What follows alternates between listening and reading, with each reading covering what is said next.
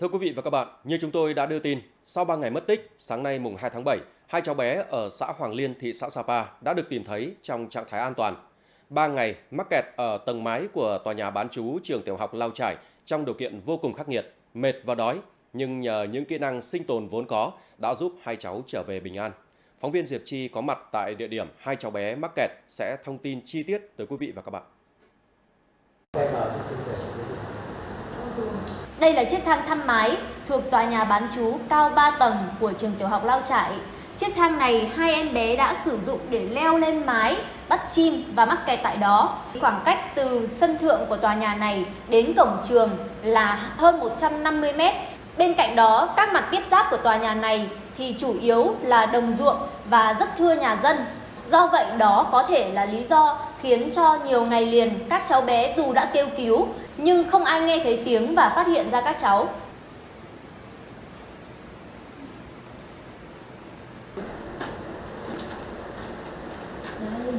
Và khi bước lên khu vực tầng mái này, tôi mới thực sự nể phục kỹ năng sinh tồn của các em.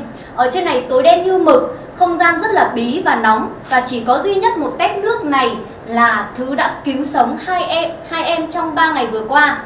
Tuy nhiên tét nước này đã khóa nhưng các em đã nhanh trí biết mở tét nước này ra, trèo vào đây, múc nước để uống cũng như là để chống nóng trong những ngày vừa qua. Ở đây vẫn còn nguyên những cái vết chân các em trèo vào. Hiện sức khỏe hai cháu đã ổn định và được đưa về bệnh viện đa khoa thị xã Sapa chăm sóc y tế. Nhớ lại những ngày vừa qua, bố mẹ của hai cháu vẫn vô cùng xúc động. Mấy ngày vừa rồi tôi mất ăn, mất ngủ, chỉ nghĩ đến việc đi tìm con. Sau khi nhận được tin con bình an trở về, tôi mới thấy nhẹ lòng. Đến giờ này tôi vừa mừng vừa lo cho con, chưa ăn uống được gì hết cả.